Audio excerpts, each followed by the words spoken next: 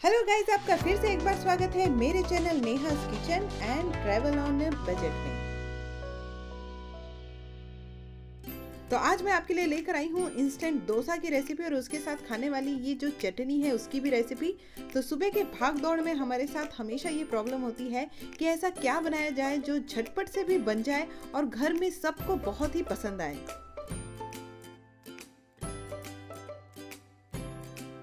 तो इस रेसिपी के सारे सीक्रेट्स जानने के लिए आप ये रेसिपी एंड तक ज़रूर देखिएगा। और अगर अभी तक आपने मेरे चैनल को सब्सक्राइब नहीं किया है तो सब्सक्राइब करना और बेल आइकन को प्रेस करना बिल्कुल ना भूलें।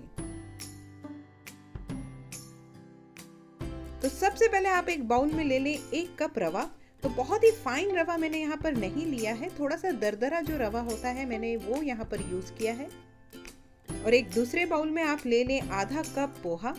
तो पहले हमें रवा और पोहा को अच्छे से धो लेना है। तो ये जो रवा है, उसे मैंने एक पानी अच्छे से धो लिया ताकि उसमें से जो भी डस्ट हो वो निकल जाए।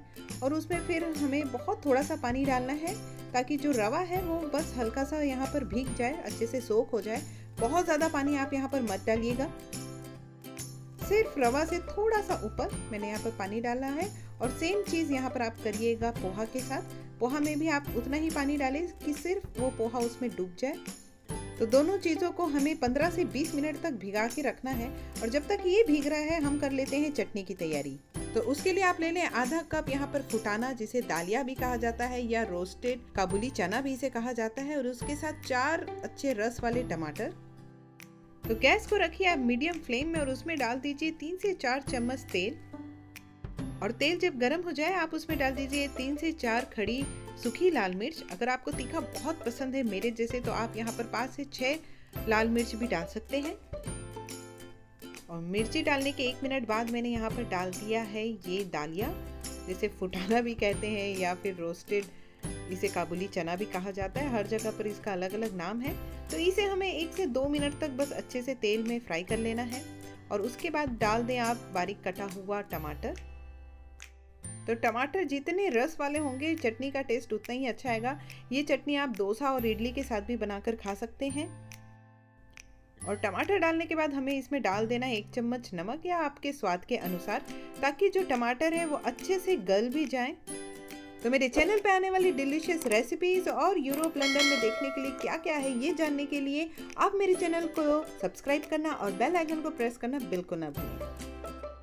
तो चटनी को यहाँ ढक दिया है ताकि जो टमाटर है वो अच्छे से गल जाएँ और बस पाँच मिनट में ही जो टमाटर हैं वो अच्छे से गल जाएँगे।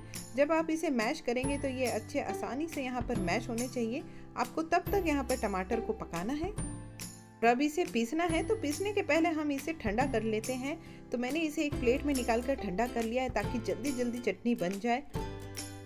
तो इस साइड जो हमने रवा और पोहा भिगा के रखा था, वो अच्छे से भीग चुका है। उसने अच्छे से पानी जो है एब्जॉर्ब कर लिया है। तो इसे हमें दोनों को एक साथ अच्छे से मिक्स कर लेना है। तो सुबह अगर आपके पास इतना टाइम भी नहीं है कि आप इसे भिगा सके तो आप इसे रात में भिगा कर फ्रिज में भी रख सकते हैं ताकि आप सुबह इसे जल्दी से ग्राइंड कर। लें तो यहाँ पर मैंने आधा कटोरी इसमें दही भी डाल दिया है। तो ये तीनों चीज़ों को अच्छे से मिक्स करके हमें इसका एक फाइन पेस्ट बना लेना है। तो इसमें आप इस वक्त पानी बिल्कुल भी मत डालिएगा, आप इसे ऐसे ही अच्छे से मिक्सर में ग्राइंड कर लें। तो हमारे घर में तो ये जो रेसिपी है, ये हफ़्ते में एक बार तो ज़रूर बनती है, क्योंकि ये हमारे घर में सबको बहुत पसंद है। तो यहाँ पर देखिए, ये ऐसा आपको एक फाइन अच्छा सा पेस्ट बना लेना है।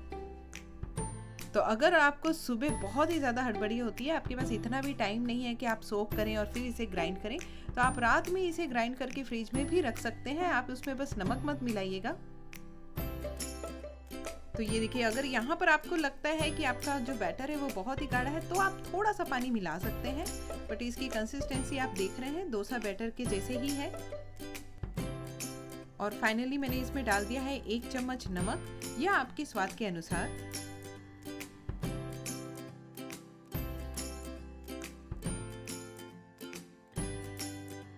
और फिर मैंने इसमें डाल दिया है आधा चम्मच खाने वाला सोडा।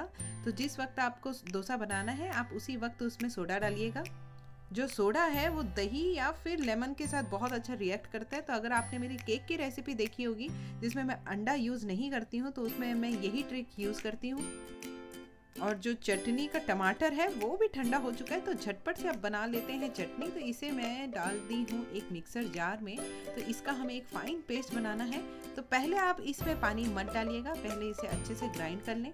और जब आपको लगे कि इसमें थोड़ा सा पानी की ज़रूरत है, अगर टमाटर बहुत ही रसीला है तो आपको पानी की ज़रूरत नहीं पड़ेगी।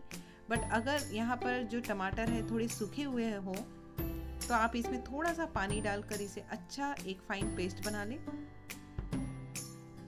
तो ये बन गई है अच्छे से इसकी एक फाइन पेस्ट अगर आपको थोड़ा सा दरदरा चटनी पसंद है तो आप वैसा भी कर सकते हैं। तो इसे देना है अब एक तड़का। तो मैंने एक छोटी सी जो तड़के वाली चम्मच होती है, उसमें डाला है तेल और आधा चम्मच राई।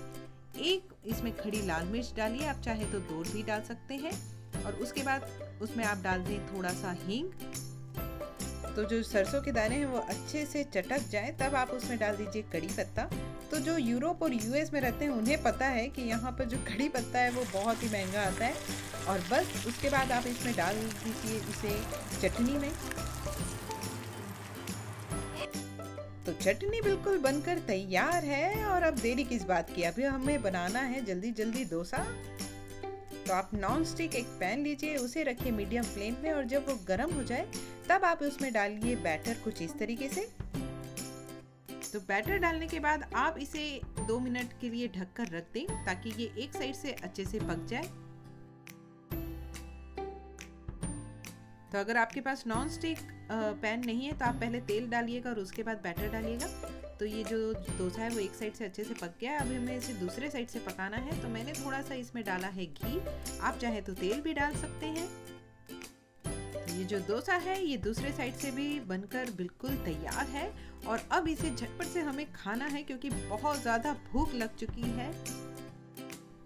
तो मेरे घर में तो ये बहुत ही हिट रेसिपी है तो आप भी एक बार ये अपने घर में बनाकर ज़रूर देखिएगा और मुझे लाइक या कमेंट करके ज़रूर बताइएगा कि ये आपको कैसी लगी।